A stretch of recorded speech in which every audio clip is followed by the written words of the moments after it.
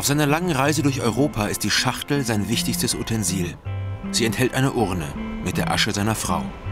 Darius Kopp ist hier unterwegs. Wir kennen ihn schon aus dem letzten Roman von Theresia Mora. Damals war er Computerfachmann, ein Unentschlossener, der sich treiben lässt. Jetzt hat Mora eine Fortsetzung geschrieben.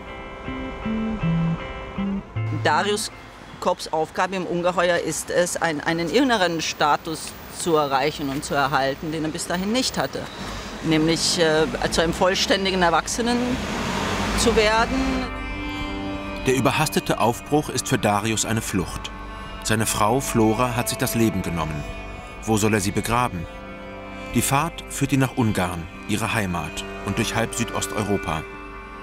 Mehr noch als die Begegnungen mit anderen Menschen berührt ihn die Lektüre von Floras Tagebuch, das er nach ihrem Tod gefunden hat. Wir lesen diesen Text parallel zu Darius Reiseschilderungen und begreifen noch vor ihm, dass sich Flora in einer düsteren Parallelwelt aufgehalten hat. Flora war krank. Er läuft, sie läuft, ja, und äh, sieht aus, als würden sie gemeinsam laufen und in Wahrheit laufen sie nicht gemeinsam. Ne? Flora kapselt sich mehr und mehr ab zieht sich in eine Waldhütte zurück, bis sie keinen Ausweg mehr sieht. Die Depression ist das Ungeheuer, das sie vernichtet. Darius begreift dies erst nach ihrem Tod. Wie es nun weitergeht, weiß nicht einmal die Autorin.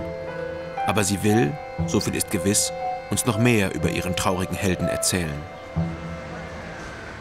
Therese Mora hat einen Eheroman geschrieben, wie ich ihn noch nicht gelesen habe.